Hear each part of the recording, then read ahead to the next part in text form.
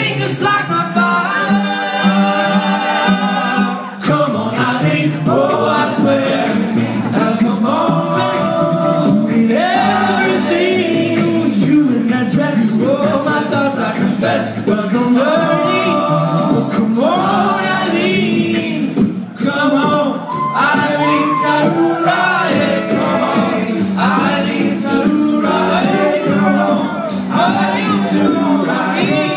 Hallelujah to the right.